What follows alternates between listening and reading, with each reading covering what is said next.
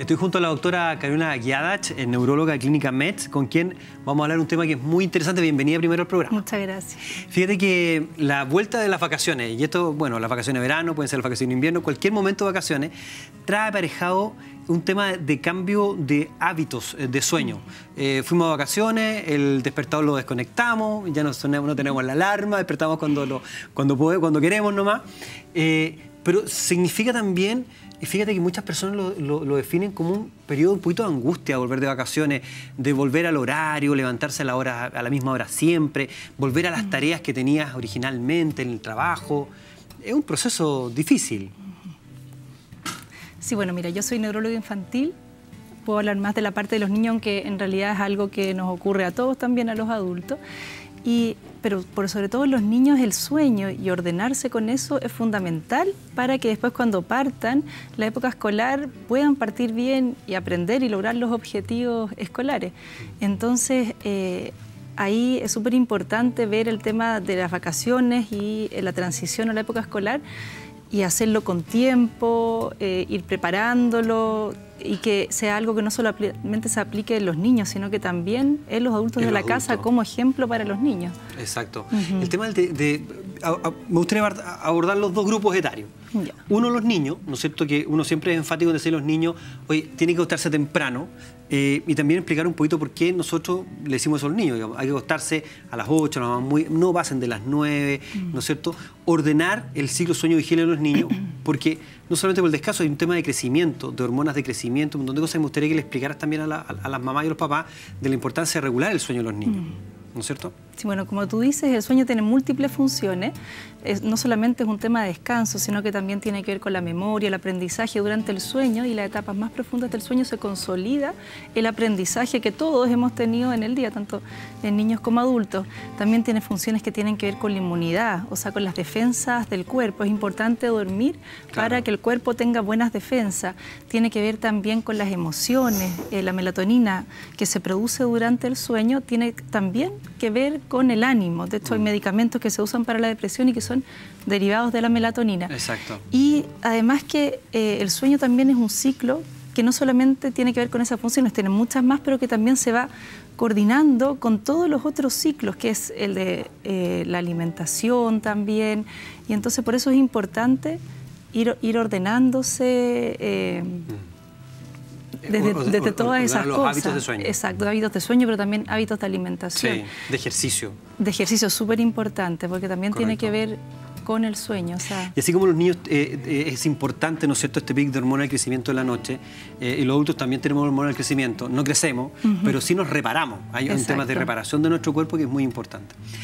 Entendiendo cómo funcionamos, niños y adultos en esta área, y volviendo al tema de, cómo lo hacemos después de las vacaciones, ¿cuáles serían los consejos para los papás, ¿no que están llegando a vacaciones, están con su hijo y tienen que empezar con esta adaptación a un ciclo que requiere que los niños partan temprano en el colegio o los, cabros más grandes en la universidad? Mm. ¿Cómo, lo hacemos con ellos? ¿Cuáles serían tus consejos para los papás hoy día con sus hijos? Bueno, los primeros consejos, como conversábamos al principio, que esto sea un modelo que sigan los papás y los niños de toda la edad en la casa. Por supuesto que según la edad es la cantidad de horas que tienen que dormir pero que se fije una hora adecuada según la hora que se van a levantar el otro día, que idealmente para los niños tiene que ser alrededor de las 9 de la noche y los más chiquititos un poquito antes, en donde fijen la hora del sueño. Y una vez que fijen esa hora del sueño, todas las otras actividades que se hacen en la casa se coordinen con eso. Es decir, por ejemplo, la alimentación, que idealmente se haga una hora antes de la hora del sueño, que las pantallas, llámese celular, computador, televisión, tablet, etcétera,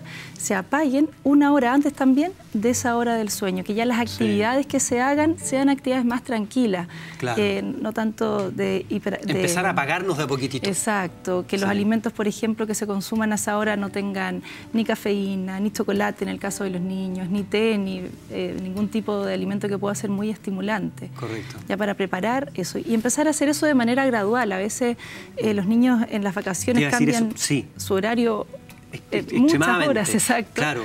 Entonces también a ellos les produce una angustia. Sí. De un día para otro él se acostaba, un niño, por ejemplo, de 7 años a las 12 de la noche de las vacaciones y al otro día yo le digo ya... Seis y media ya tiene que estar... Preparándose, para dormir. Entonces tiene que ser algo gradual. Hay que conversarlo con los niños y no ser impositivo, respetarlos, decirles vamos a hacer esto, lo vamos a hacer de tal manera para no generar mayor ansiedad que también la entrada al colegio para los niños ya, o a la universidad los más quizá unos días antes, tres días antes, cuatro días antes, a lo mejor el horario... un poco más. Un poco más, una semana antes, sí, que el horario de, de, dormir se, vaya, se vaya gradualmente acomodando, ¿no es cierto? Para que este cambio, como tú dices, no sea tan, tan brusco. Oye, y eso también aplicado absolutamente para los adultos. De todas maneras. También, ¿no es cierto? Por eso muchas veces recomendamos, si usted salió de vacaciones y va a retornar, no venga el último día de vacaciones el domingo para partir el día siguiente del trabajo. Ojalá tenga 24 o 48 mm. horas en su casa para empezar ya a acomodar, todas acomodar este retorno. Antes de entrar a trabajar, los adultos tenemos mucho más trastornos del sueño, si bien esa no es mi área, pero sí se sabe que tenemos mucho más trastornos del sueño que los niños. Absolutamente. Fíjate, Carolina, que hay otro punto a propósito de, este, de que tocamos el tema de las vacaciones, que hay un concepto del cual existen libros que usted puede también leer, que es el tema del descanso activo.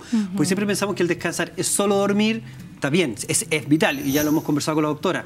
Eh, el descansar es eh, tirarse a la cama a ver una película, sí podría ser también, pero doctor en casa, por supuesto, pero hay un descanso y se activo, que es cómo salgo yo de mi rutina, ¿no es cierto? Pintando, haciendo ejercicio, saliendo al cine, saliendo a mm. pasear, haciendo otras, leyendo, haciendo otras cosas que me permitan que mi mente se vaya desconectando de lo que es rutinario, lo que definitivamente me está agotando y me está cansando. Y fíjate que en esa línea, Carolina, hay, una, hay un área que es muy entretenida, que es mindfulness, que ya se está practicando muchísimo, hace muchísimos años eh, en Chile, porque tiene un desarrollo muy grande. Y quisimos hoy día en el programa traerle un poquito más ese concepto, que conozca un poquito más de mindfulness, y para eso estamos en una nota que le hicimos a Pedro Salinas, psicólogo, y queremos compartir con ustedes esa experiencia. ¿Qué es el mindfulness? Bueno, el mindfulness es esencialmente una práctica que ha logrado conjuntar distintas disciplinas de la filosofía oriental y otras formas meditativas en un conjunto de prácticas específicas que tienen como objetivo el poder atraer nuestra conciencia hasta el aquí y el ahora. Las ventajas del mindfulness sobre otras prácticas es que es una práctica que puede realizarse en cualquier lugar, por cualquier persona, niños, eh, personas de edad media, inclusive adultos o adultos mayores y que requiere de muy poco elemento a diferencia de otras prácticas. Requiere solamente tomar conciencia de nuestro cuerpo y adentrarnos en la respiración, que es una respiración generalmente particular que siempre se realiza a través de la vía nasal, respirando por la nariz, y concentrando nuestra atención sobre el cuerpo y la respiración. No se requieren otros elementos adicionales, se puede practicar a cualquier hora, en cualquier lugar, inclusive en el auto mientras uno está en un taco, en muchos lo único que hay que tener como el resguardo es de no practicarlo acostado, porque tendemos a que nuestra conciencia baje y, que se nos produzca naturalmente sueño. Es el único resguardo que hay que tener con la práctica de mindfulness. ¿Cuáles son sus beneficios? Estudios en ciencia han demostrado que mindfulness tiene una serie de beneficios para el organismo y el cuerpo humano eh, y también para nuestra actividad mental. En general, mindfulness prontamente logra regular nuestras emociones, logra mejoras en el sueño, incrementa los niveles de serotonina, reduce las inflamaciones, actúa muy bien con deportistas de alto rendimiento, por ejemplo, mejorando la performance deportiva. Es capaz de, mejorar en general nuestro sistema, el funcionamiento de nuestro sistema orgánico en su totalidad. Y se han demostrado también resultados muy positivos sobre lo que es la respuesta de nuestro sistema inmunológico. Por lo tanto, los beneficios de mindfulness ah, son innumerables en la medida que la práctica se haga regular. ¿Desde cuándo podemos observar estos beneficios? La persona desde, desde, la primera práctica va a poder observar que se producen ciertos cambios, pero obviamente como toda disciplina requiere que haya una práctica constante y que se realice con cierta metodicidad. ¿Quiénes deben practicarlo? Practicar mindfulness cualquier persona, inclusive niños. Hay, hay muchas experiencias en otros países y en Chile también de niños que, se, que practican mindfulness en las escuelas. Pueden practicar jóvenes, adultos y sobre todo adultos mayores.